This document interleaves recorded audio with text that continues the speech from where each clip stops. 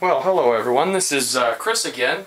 I am hoping to get this video out to you guys uh, before I head out. Today is uh, Tuesday. It's about 8 o'clock in the evening, about the quarter till. Uh, so hopefully I can get this out uh, sometime this evening. The issue is that I am leaving tomorrow, uh, partially for business, partially for pleasure, so I, I do apologize that I'm, I'm going to go out and have a little fun. Uh, but what, what's occurring is for the rest of the week I'm going to be going up to Rio Ruidoso to something called Winterfest.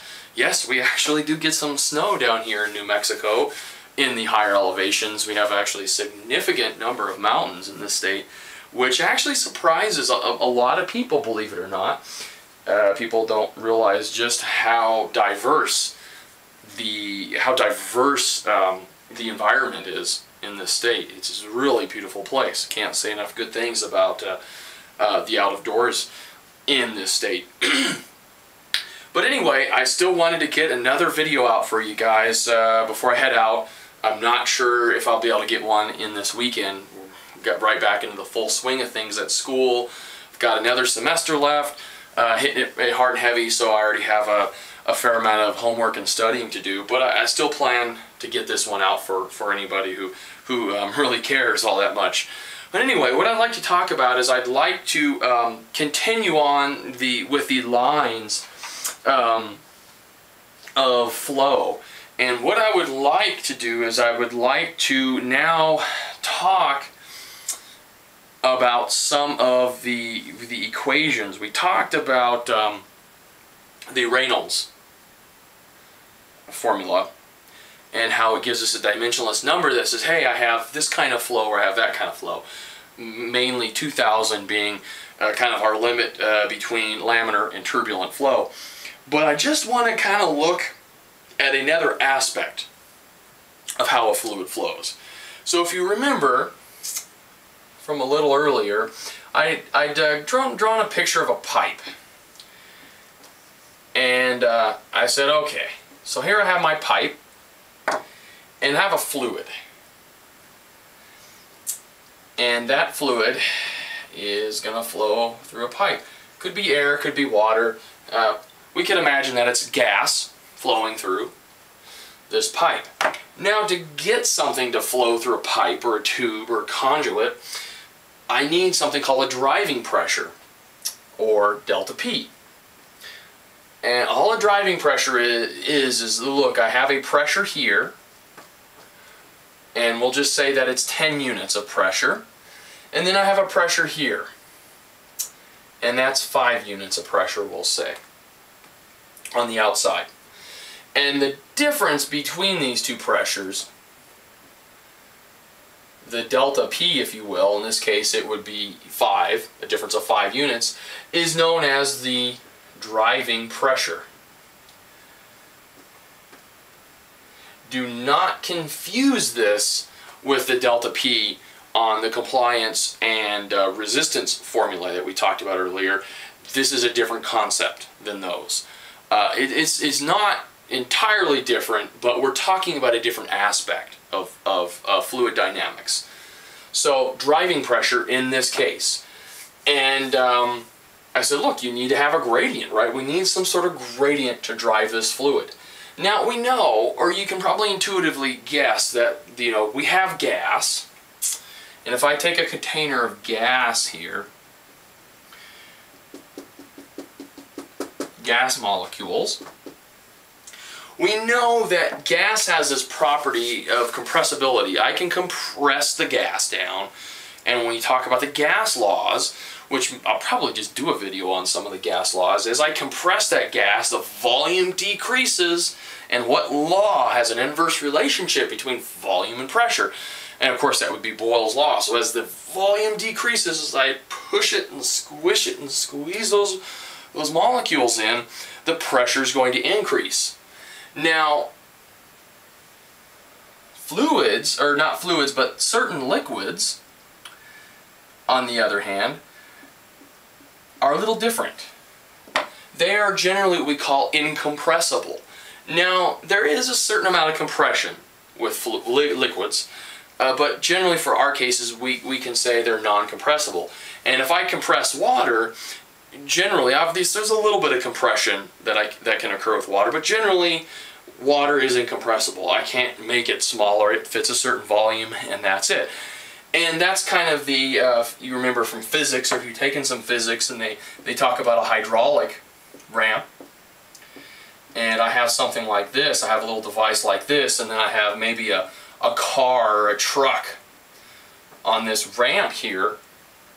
And I put a force down on this little small uh, disc or piston or whatever, and it has a certain area. There's a certain force. The pressure is going to increase here, but because this liquid does not compress, that force is going to be transmitted over here and it's going to push this side up.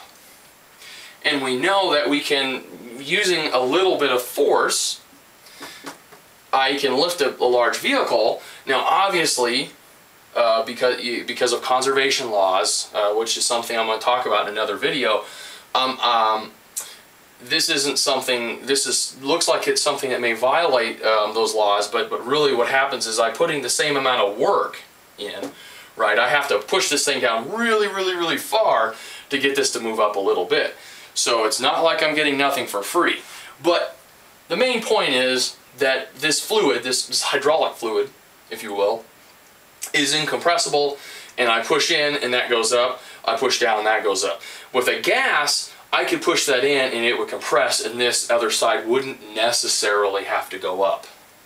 Or, uh, yeah, with a gas, sorry about that. Okay, now the law that I'm going to talk about is more relevant to this here. It's more relevant to a liquid and is more relevant toward a non-compressible liquid with laminar flow. Okay? So it doesn't have quite the application for compressible fluid with turbulent flow. But the some of the basic underlying principles I'm going to talk about will definitely apply, but they will not apply exactly as the formula states when we when we take in gas into consideration. So I just want to tell you guys that caveat.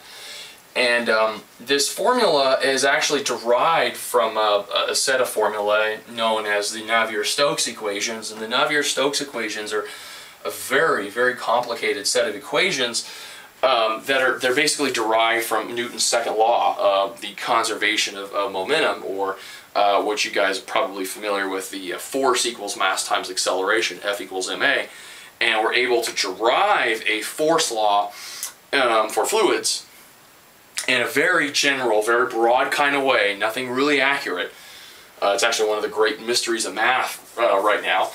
Uh, but from those equations, we can derive this equation. So it's really uh, more for special situations, but it still has um, some pretty profound uh, implications for what we do in respiratory therapy. And the name of this is Poiseuille's law. And let me just go ahead and uh, throw this up here. It's P-O-I-S-E-U-I-L-L-E-S. Poiseuille's law, Poiseuille's principle. Uh, I believe it's Poiseuille, it's French. Uh, if you live down here and you say it's Poiseuille's law, I would uh, be alright with that. I would not uh, make fun of you. Now, if you're from up north, say in Wyoming, and you say Poiseuille's law, we're going to have to make fun of you all day long. So certainly a little bit of context there. But Poiseuille, I believe, is the, the uh, appropriate enunciation. Uh, year of uh, high school French, and I probably butchered that. Well, anyway, continuing on. So, Poiseuille's law is uh, written or derived like this. There are other der derivations of it, but this is the one that is, is fairly relevant or more relevant to us. Okay, so delta P equals AU V. Sometimes this will be written as a Q. I'm going to write it as a V with a dot over it because we're more familiar with that in respiratory therapy. And that is pi r to the fourth power. Okay, let me break this down. Delta P, well we know what that is, right? That's the driving pressure here. So the driving pressure equals 8 times mu. What is mu? Mu is the the viscosity. Uh, sometimes you'll see that written as an N, but we'll just keep it as a mu for now to avoid the confusion. L is the length of our conduit here, has a length L.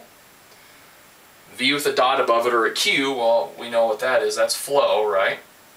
Sometimes Q is cardiac output in liters per minute. It means the same dang thing. It's flow.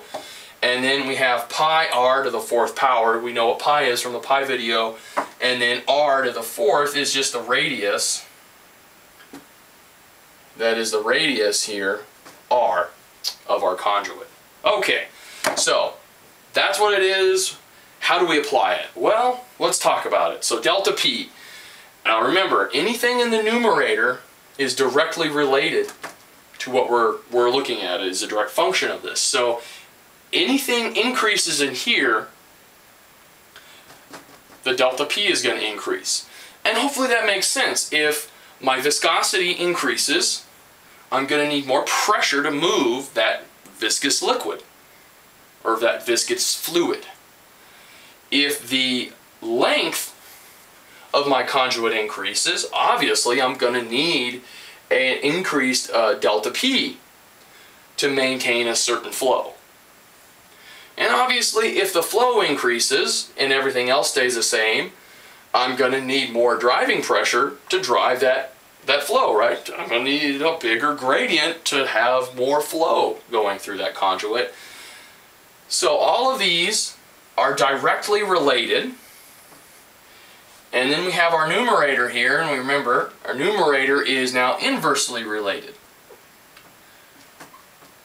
So what this says is, really what it says is as the radius of my pipe, so if this has an R, a radius of R1, and we decrease that to R2, so maybe this is one unit and this is one half unit. What does that tell us? Well, that tells us that the delta P is going to what? If the radius decreases, delta P is going to increase because there's an inverse relationship. And not only is it good, it's not going to increase just a little bit. It's going to increase a whole hell of a lot because I've got my radius to the fourth power. So r to the fourth power. This decreases by half. I have a significant increase in my delta P to maintain the same flow.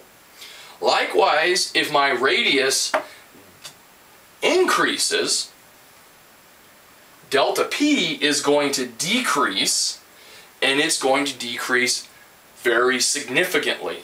Now, even though this is for a liquid, and we're talking about laminar flow, we can make some general assumptions here. And I think the most profound assumption for respiratory is, look, if I have an airway and that airway swells, or I have bronchospasm, and I decrease the radius of that airway, the driving pressure required to maintain flow through that airway is going to increase quite a bit, significantly. Where does that driving pressure come from? That comes from us. It comes from our diaphragm, our intercostal, intercostal muscles, and so on. So that means that our work of breathing increases significantly in those situations. Likewise, it will decrease if we can reverse whatever is causing that, um, that our, um, the radius to decrease or give a bronchodilator perhaps.